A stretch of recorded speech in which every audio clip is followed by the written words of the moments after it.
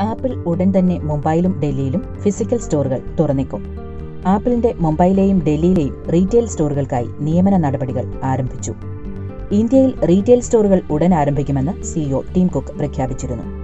Store leader senior manager operations expert technical specialist തുടങ്ങി വിവിധ റോളുകളിലേക്കാണ് നിയമനം.